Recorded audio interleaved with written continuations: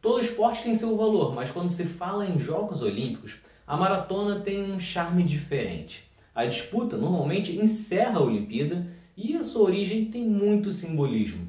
A maratona surgiu durante as guerras médicas, quando gregos e persas disputavam o controle da Ásia Menor e da Península Balcânica. Na primeira parte do conflito, os gregos saíram vitoriosos em uma batalha na planície de Maratona, no ano de 490 a.C.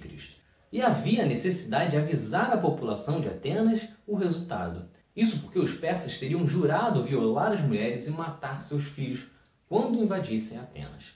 Com esse temor, a população decidiu colocar fim em suas vidas antes que os persas chegassem. Desta forma, deram um prazo de 24 horas para receber a notícia de caso de vitória.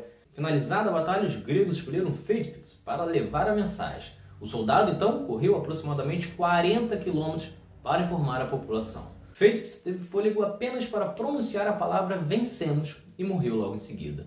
Em sua homenagem, passaram a ser realizadas provas de 40 quilômetros com o nome de maratona. Foi assim, inclusive, nas primeiras edições das Olimpíadas da Era Moderna.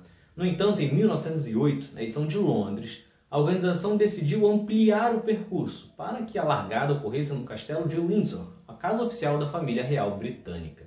Ao conferir, constatou-se que a distância ficou em 42 km e 195 metros. O tamanho ainda variou na edição de Antuérpia, na Bélgica, mas a medida da edição de Londres foi padronizada em 1921.